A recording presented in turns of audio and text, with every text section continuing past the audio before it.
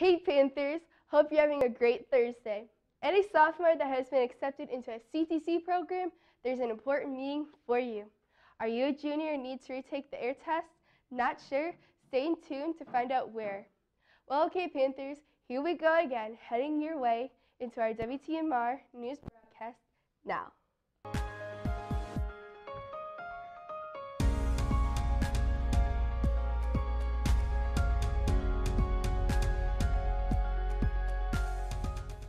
Good morning, Panthers. Today is Thursday, March 23rd, 2017.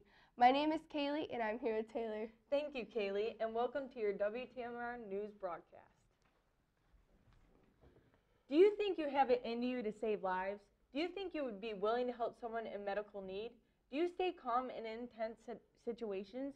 If you said yes, then you should consider a new senior only class for next year Emergency Medical Technician. This class will be new in the CTC next year, so talk to your counselor to see how you can register and be a part of this new career field. University of Toledo admissions representative Brian Bosch will host a Next Steps meeting in meeting Tuesday, March 28th during Extra Help in the auditorium. Any senior planning on attending UT this fall is encouraged to attend. Mr. Bosch will explain the enrollment process and share information regarding regarding upcoming events. Report directly to the auditorium after first block on Tuesday. Attendance will be taken.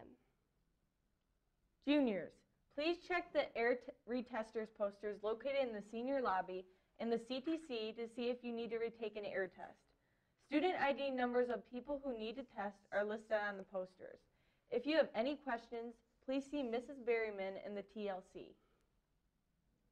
Any student interested in registering for an AP exam, please sign up for the Remind for more for important information.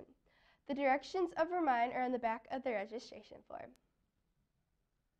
Have you always wanted to put your handprint in the handprint hallway? Well, here's your chance. The After Prom Committee will be selling tickets for $2 to any interested students on March 23rd and March 24th during all lunches in the cafeteria. You will be given a ticket noting that you paid so don't lose it. The actual painting and printing will be done March 30th and 31st during your lunchtime, and you will need to show your ticket to be allowed to do it. Congratulations to all the sophomores that have been accepted into a CTC program. You should have received an invitation to the CTC Welcome Assembly that will take place today during Extra Help. Please report directly from your first block to the auditorium and sit in the lower section. Lunch menu cheeseburger or pancakes with syrup.